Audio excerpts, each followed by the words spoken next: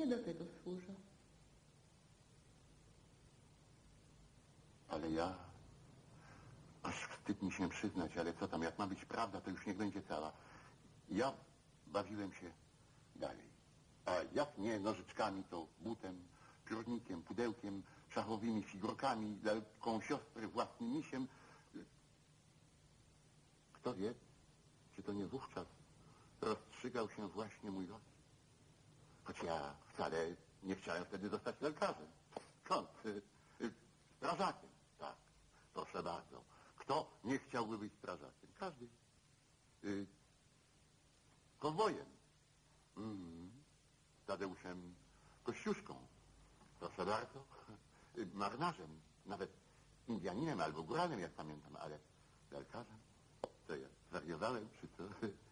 Ja jako, jako historyk teatru raczej e, widzę go w jego roli dla, dla teatru europejskiego i światowego. On przeorał, absolutnie, jeśli chodzi o teatr lalek europejski, przeorał całkowicie. To, co on podjął w latach, w latach 50. jako taką twórczą analizę tego teatru, to potem procentowało pracy wielu innych artystów, nawet z takimi znakomitymi nazwiskami jak Peter Schumann, przejmował pewne środki tutaj terenu lalki, a, a już z Meszkę, z którym bardzo blisko współpracowali, to są duże nazwiska e, w Europie, a nazwisko Wilkowskiego w pewnym okresie, no było wielkie, było wielkie, ponieważ e, występował na wielu festiwalach, to był Paryż, to było Spoleto, to był e, Brunswick w Niemczech i wszędzie jego przedstawienia, głównie z Wyrtała, były znakomicie, znakomicie przyjmowane. Więc on dał początek do wielkiego rozwoju teatru lalek e, w naszym e, stuleciu. To coś cudownego, niesamowitego, bo to równocześnie w tym y, człowieku było strasznie dużo przekory wobec tego ubóstwienia, No. które się nigdy udymieniem nie. No właśnie, ale to, to był tego rodzaju Bóg, że można było go dotknąć, można było z nim kawę i nie tylko kawę wypić i w dobrej Tak, który się w dodatku cieszył tym, że jest niedostrugany Tak. miejscami. Ciągle jego brak. Ale całe szczęście, że duch jego ciągle błąka się po wszystkich salach. On potrafił zainicjować, potrafił sprowokować y, do działania. Robił to z niesamowitą kulturą, robił to z szacunkiem dla partnera, z y, wielką miłością dla teatru, w którym pracował. Wszyscy studenci kochali mm, pana profesora, nawet jeżeli go już tutaj nie było i był tylko głosem. Pamiętam taką wigilię, na której już yy, pana Jana Wilkowskiego nie było, nie, nie mógł przyjechać, źle się czuł. I wówczas żeśmy przez, przez telefon zadzwoniliśmy do niego do Warszawy i, Zorganizowaliśmy specjalne nagłośnienie, żeby Tak. było można usłyszeć jego głos. I on faktycznie i on faktycznie zaśpiewał swoją słynną Przez telefon. kolędziołkę Oj maluśki, maluśki, którą zawsze śpiewał sam, a studenci podejmowali dopiero refren. Oj, maluśki, maluśki, maluśki, kiedy rękawiczka. Ja myślę, tym. Wydział Sztuki Lalkarskiej istnieje już 26 lat. Y, Jego początek związany jest z osobą pierwszego dziekana naszego wydziału, jeszcze wówczas Wydziału Lalkarskiego, y, profesora Jana Wilkowskiego. Osoba Jana Wilkowskiego była dla nas tak ważna, tak istotna, że dwa lata temu nazwaliśmy nasz teatr szkolny, salę naszego teatru szkolnego imieniem Jana Wilkowskiego. Y, To należny mu hołd od nas wszystkich, od absolwentów, y, od wykładowców kadry profesorskiej. Znał nasze żony, nasze dzieci. Prywatny Moje dziecko ma urodziny, to przyjeżdża, jakąś tam laleczkę przywozi. Mój Piotrek ma urodziny, zdaje się, tak. Masz tego.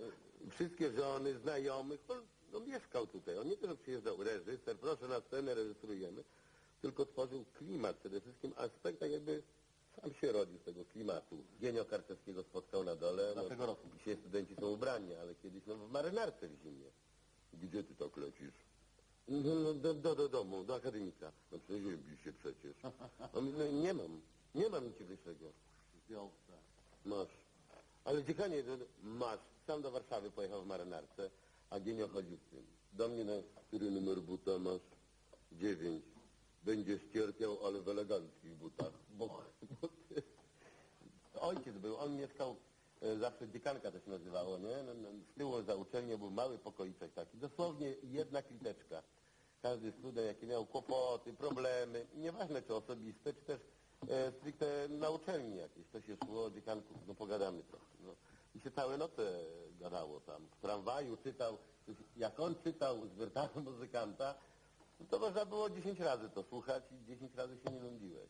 I każdy dziekanek poczytał nam z wiertałem. Czytał. Zawsze uważam, że sztuka powinna dojrzeć. Że sztuka powinna dojrzeć, żeby ją, żeby ją pokazać. I wtedy sobie, wtedy zadawaliśmy sobie pytanie, czy wszystko żeśmy zrobili już, czy wszystko, prawda, czy wszystko żeśmy zrobili, żeby można to było pokazać widzowi. Jeżeli Wilkowski twierdził tak, że już nie, nie, nie musimy się niczego wstydzić, to wtedy my byliśmy pewni, że, no, że ta sztuka, no, Znaczy, on jedną rzecz budował na pewno w spektaklu, że każdy miał wrażenie, że a przecież to ja zrobiłem. Tak. Ja wymyśliłem tę No scenę, właśnie. ja wymyśliłem tamtą scenę, Ale o ten dialog nawet ja napisałem. A techniczni sami wymyślili dekorację i sami ją zrobili i wszystko sami. Ja to zrobiłem, Wilkowski tylko dawał kolejki. Dopiero po jakimś czasie, aha, zaraz. Ja sądzę, że to właśnie od niego nauczyliśmy się tego, że nie teatr lalek. On w zasadzie tak y, bardzo precyzyjnie nie dokonywał takiego podziału, chociaż w praktyce realizował to, co realizował.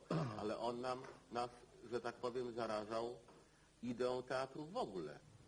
I tak oto zaczarowany krąg zamknął się dookoła mnie. I czas mi już skończyć tę długą opowieść. No, dzieci, powtórka ostatniej lekcji. Trzy, cztery. Myśmy przeszli. Wiele dróg gościńców i bezdroży sztuki. Myśmy pracowali w teatrze, mijaliśmy dziwne światy, które sami stwarzaliśmy, mijaliśmy postacie, które byli naszymi znajomymi, postaci dziwne. Z okazji sympozjum, które było poświęcone Janowi Wilkowskiemu, postanowiłem na jego cześć wymalować jeszcze raz po wielu latach niebo i zwiertale, który siedzi i szykuje się do powrotu na ziemię. Hej, hej, kukiełkarskie bractwo,